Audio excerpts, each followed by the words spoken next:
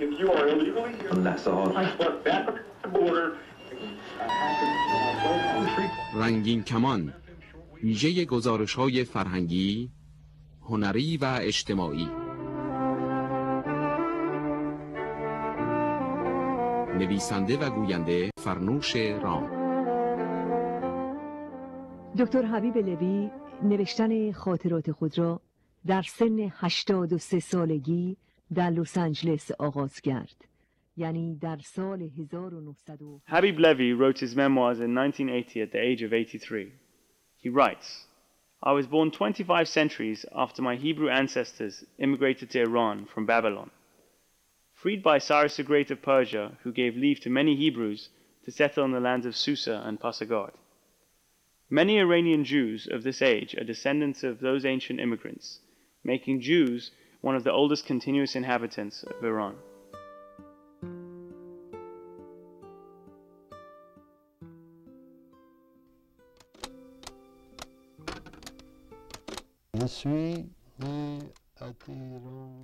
I was born in October of 1896 in the Jewish ghetto of Tehran. My old age and trembling hands make penmanship difficult. Yet the compelling desire to chronicle my life has caused me to utilize a typing machine.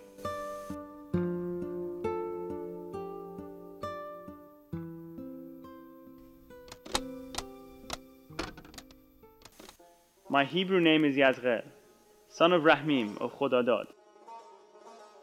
My grandmother was Senobah, daughter of Yazrel, the healer who served the royal court of the Iranian monarch Nasiruddin Shah.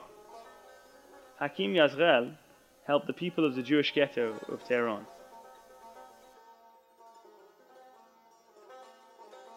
In 1904, I attended Alliance School through high school.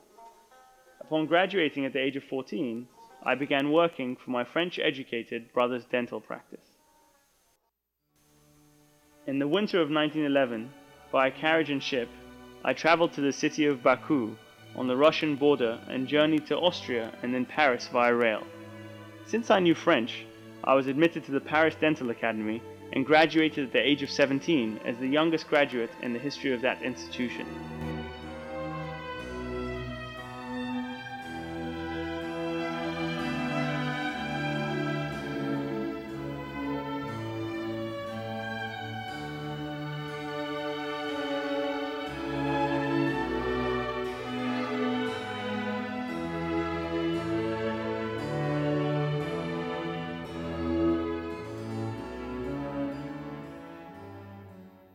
My return to Iran coincided with the outbreak of World War I. I started a new dental practice in Tehran with my brother. I also practiced dentistry in Hamadan and Sanandaj for some time. At the end of World War I, when I was 23, I wedded Zolekha, daughter of Soleiman Zaghi Haim. In 1919, I was the first Jewish Iranian to serve as a lieutenant in the Cossack Brigade, in the capacity of military doctor. After 16 years of steady rise, I was declared colonel in charge of the medical wing of the army. During this time, Reza Shah picked me as his personal dentist. Among my patients were numerous Qajar princes and Satar Khan.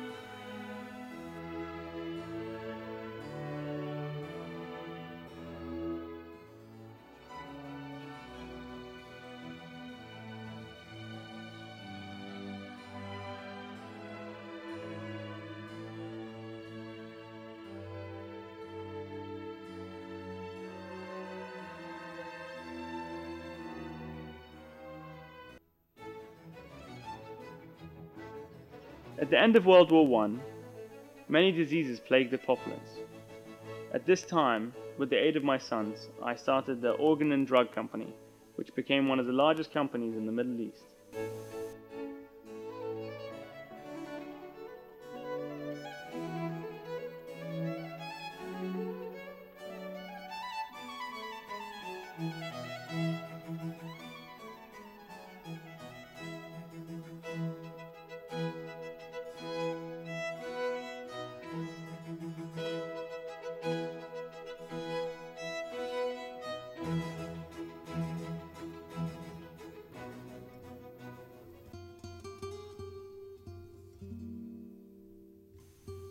Approximately 20 years before Israel's declaration of independence, I traveled to Jerusalem.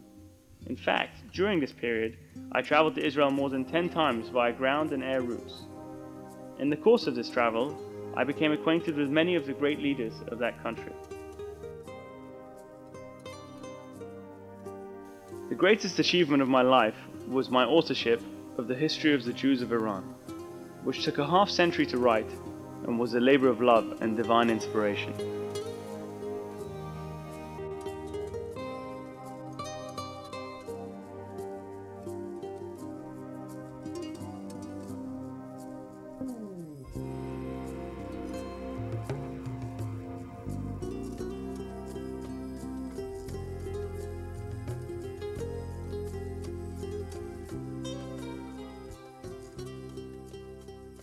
Dr. Habib Levy, may his soul rest in peace, passed away in the city of Los Angeles in 1984. He was buried in Jerusalem in accordance with his wishes. His death did not end his exemplary way of life. His friends and supporters of his lifelong work founded the Habib Levy Cultural and Educational Foundation to continue his mission.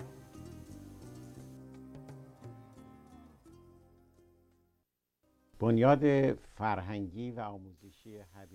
Habib Levy's Foundation's mission was in part inspired by the following excerpt from Habib Levy's book, The History of the Jews of Iran. The only way to eradicate the hostility and mistrust among our nations is to know each other. Habib Levy's goal in publishing his book was to draw the Iranian nation's attention to the achievements, trials, and tribulations of the Iranian Jews, who have been an integral part of the Iranian nation for the last 2,700 years. Inspired by this idea, in 1995, supporters of Dr. Levy's ideology founded the Habib Levy Cultural and Educational Foundation with the express goal of bringing people of different backgrounds to exchange and gain knowledge from one another. The goals and ideas of Dr. Levy were of such importance that his supporters determined to organize a foundation as this would be the most suitable vehicle to carry forth his life's work. One of the first goals of the foundation was to disseminate Dr. Levy's ideology by publishing his works, beginning with his magnum opus, The Comprehensive History of the Jews of Iran. The second undertaking of the foundation was the publication of Laws of Moses, followed by such works as God's Good Earth and in search of truth. To augment the published works, the Foundation has been and will continue to organize seminars and discussions on various topics in universities and other institutions of higher learning. My name is Brian Copenhaver, and I'm the provost of the College of Letters and Science. Been the first recipient of the uh, distinguished, visit, uh, distinguished Habib Levy Visiting Professorship in Judeo-Persian, Professor Amnon Netzer, will commence offering a course in the, the program of Iranian studies on Judeo-Persian. In 1996, as the delegate of UCLA's Near Eastern Languages and Cultures Department, I contacted the Levy Foundation to establish a visiting professorship in Judeo-Persian Studies at UCLA. The department intended to create a course that introduces students to the literature of Iranian Jews, which is written in the Persian language but in Hebrew characters. In addition, the course was to familiarize students with the historical and intellectual background of Iranian Jewry. The generous endowment of the Levy Foundation actualized this vision. The course named Iranian 131 was first offered in the spring of 2000, at which time it was taught by Professor Amnon Netzer.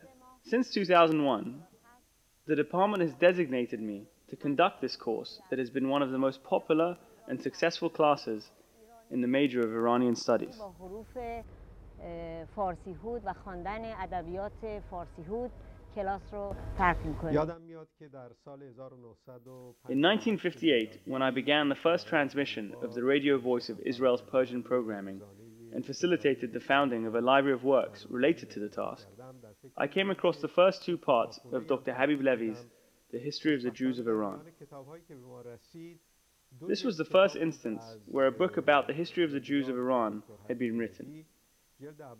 After two years, the third installment was published. This inspired me to study and research the lives and times of our forefathers who inhabited the land of Iran for the past 2,500 years. In 1963, with the encouragement of Professor Ehsan Yarshater, I delved into the history of Iranian Jewry. Dr. Levy's works were a beacon that directed me both personally and professionally. His research opened many doors for my own future research. I was delighted to find that through the Habib Levy Foundation, Dr. Levy's children managed to achieve the monumental task of establishing a course at UCLA. In the introduction of his epic composition, Shahnameh, the master Persian poet Ferdowsi recited, I suffered much in this 30 years of labor to bring back to life what was left of Iranian heritage. Likewise, Dr. Habib Levy's 30 year long labor of love in collecting, editing, and composing the history of the Jews of Iran may very well have a similar effect in the years to come. He has introduced the traditions and culture of the oldest and possibly most neglected Iranian group, the Jews of Iran, to the world at large.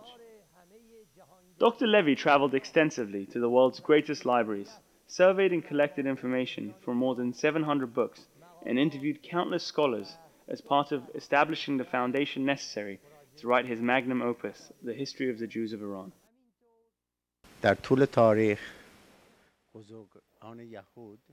Throughout history, Jewish scholars and leaders have written extensively on religious matters.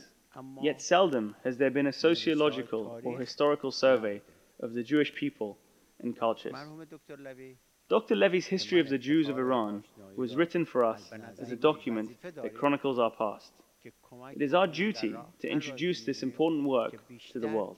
دلیل اینکه اه، ما اقدام به تهیه این فیلم کردیم برای اینکه به جمعا دوستان من we produced this film to inform people about the Levy Foundation and about Habib Levy's ideas and teachings regarding Judaism, as well as his beliefs with respect to the proper course of conduct and dialogue between different cultures, in order to create understanding between diverse people across the world.